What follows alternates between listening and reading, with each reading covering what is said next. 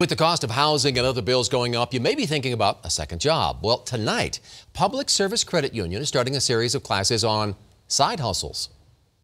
There's a lot of reasons to have a, a part-time business or second job. If the initial job that you have is not, you know, if things are tight and you're not making ends meet, then definitely it's um, we encourage you to try to go out and try to find that second job.